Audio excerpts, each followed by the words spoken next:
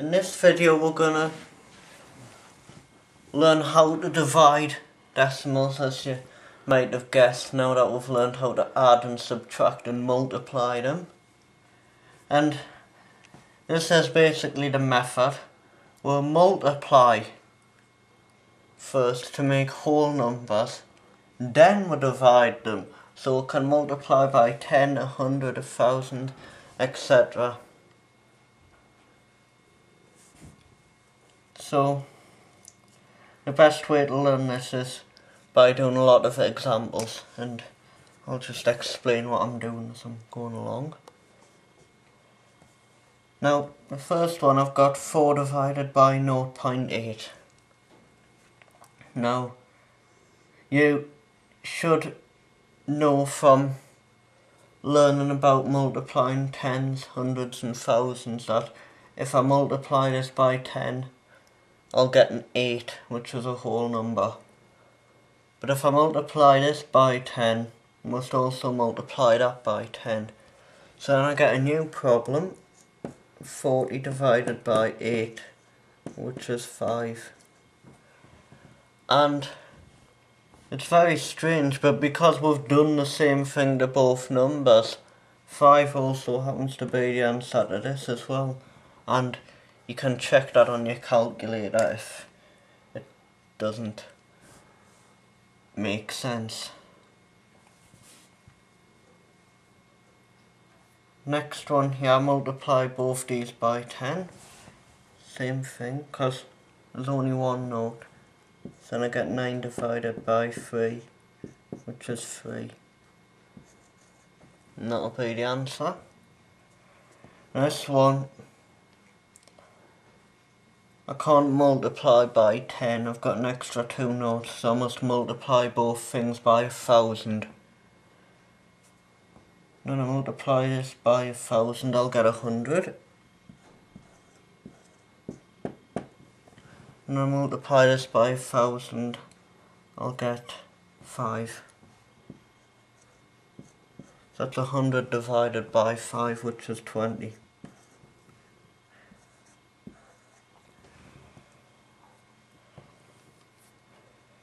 Next one. Because I've got two notes in this one, I need to multiply both things by a hundred.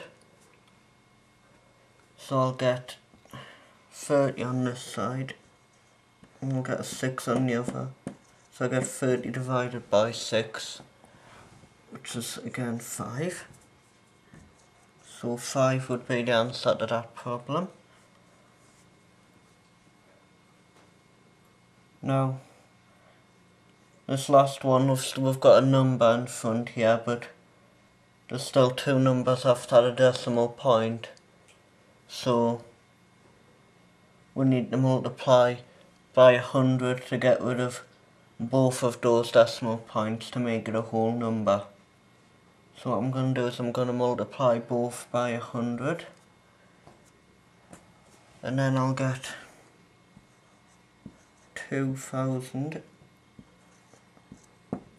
divided by 125 which is 8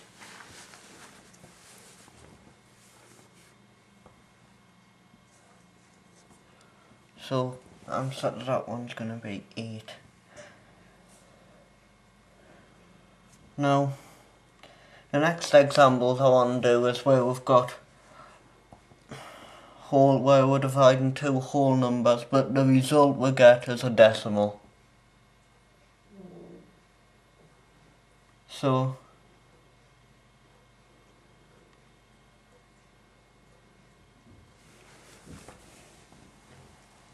that should be 16.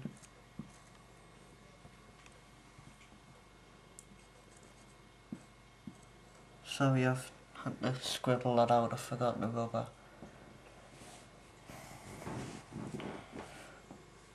Next to do is ones where we've got examples of whole numbers and we get a decimal as a result.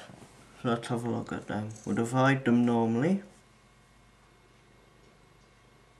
So yeah, the 4 goes there, 1 goes here. 4 into 1 doesn't go, so that's going to be 0. Then what we'll do is we'll add a decimal. We'll add the decimal and the note. Then 4 into 10. That's a 2. Remainder 2. Add on an extra note. And get 5. That goes exact, so that's going to be 0.25.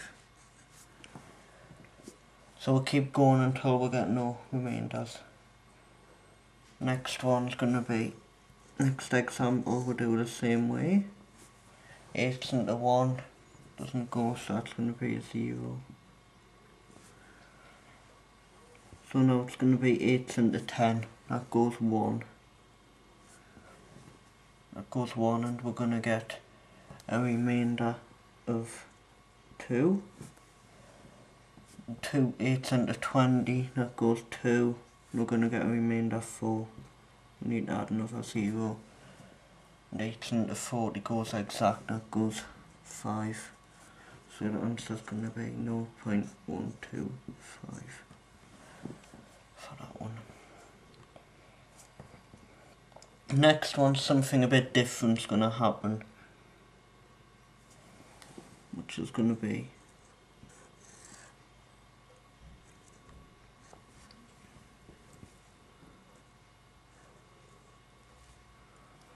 Thousand to two doesn't go. Thousand to twenty goes six. And we'll get a remainder of two. Then we'll get thousand to twenty again, that's six. Remainder two. And we'll get six again, and it's always going to leave remainder of two. And it's always going to be six. So this actually goes on forever and ever and ever. And that is called a recurring decimal. And what we can do instead of writing it out like that, we can just put a little dot above the 6 and that tells us that it's going to go on forever. One more problem.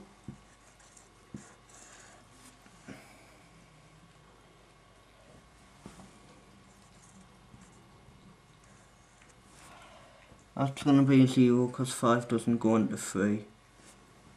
5 goes into 30 6 times. So we get 0.6.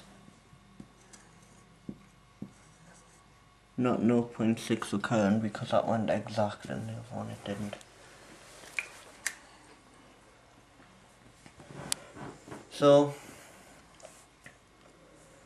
the important point is I want to mention is when you use this method if you multiply something by one number like if you multiply 1 by 10, 1 by 100 or 1 by 1000 you must multiply both numbers by that.